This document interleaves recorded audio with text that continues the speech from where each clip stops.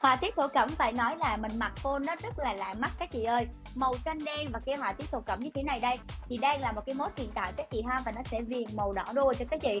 Với lại cái họa tiết rất là lạ mắt lại cần cho các chị coi nè. Và cái form này thì các chị có thể minh mặc với lại ờ, ờ, uh, có phụ kiện nón nè, túi sách các kiểu luôn, xoay một vòng các chị coi phía sau lưng nha.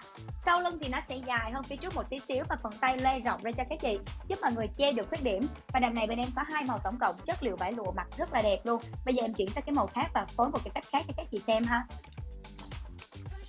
Như màu đầu là một cái tông, màu xanh đen thì màu này thì nó hơi nghiêng về màu xanh rêu một tí xíu các chị. Và em không phối với lại giày cao gót từ đầu tiên nữa, mà phối là một đôi dép với là một cái túi cối như thế này thôi.